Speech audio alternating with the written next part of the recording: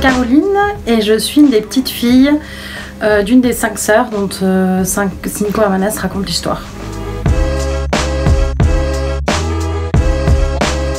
Alors euh, oui, j'ai toujours été au courant de l'histoire de, mes, de mes grandes-tantes et de ma grand-mère parce qu'on en parlait très souvent pendant les repas de famille. Par contre, pas forcément dans les détails, puisque bah, quand j'étais petite, ça m'intéressait pas plus que ça en fait. je voyais pas l'exception de. C'est une histoire assez banale en fait, quand c'est son histoire, on se rend pas compte que ça peut être une histoire atypique euh, bon, et à la fois euh, ressembler à celle de plein d'autres, mais en tout cas qu'elle est intéressante.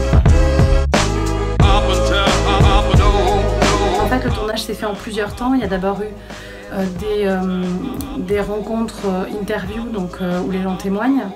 Il y a ensuite eu la traversée, qui est le fil rouge de Cinco Hermanas, dans laquelle on voit un petit peu certains membres de la famille traverser ces Pyrénées qu'elles ont traversées pour venir en France.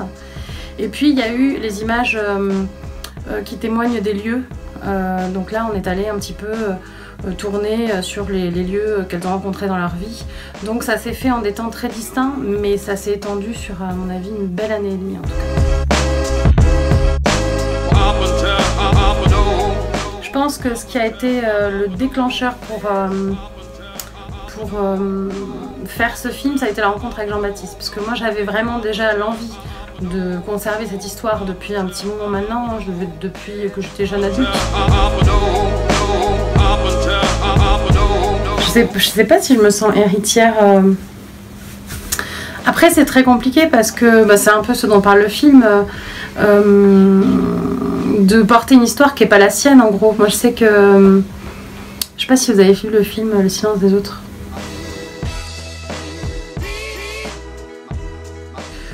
Oui. En fait, euh, c'est ce que je disais, je pense que on ne. Enfin, moi, c'est la condition première. Si une personne dans ma famille n'avait pas voulu que ce film existe, on n'aurait pas fait. Euh, alors, refaire la randonnée, pour moi, c'est important, parce que c'est quelque chose qu'on fait, fait dans la famille. On l'a pas fait qu'à l'occasion du film. Et euh, c'était important parce que moi j'avais une certaine frustration puisque la fois d'avant j'étais trop petite. Donc euh, c'était la première fois que je faisais exactement ce trajet-là. Euh, pour des raisons logistiques, en plus, le peu de fois où on l'avait fait, on était redescendu du même côté. Donc c'était la première fois vraiment qu'on passait de l'Espagne à la France. Donc il un côté symbolique assez fort.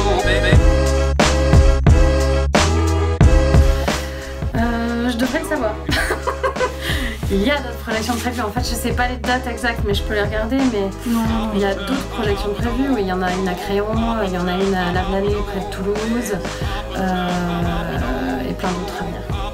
Je peux être positive à l'égard de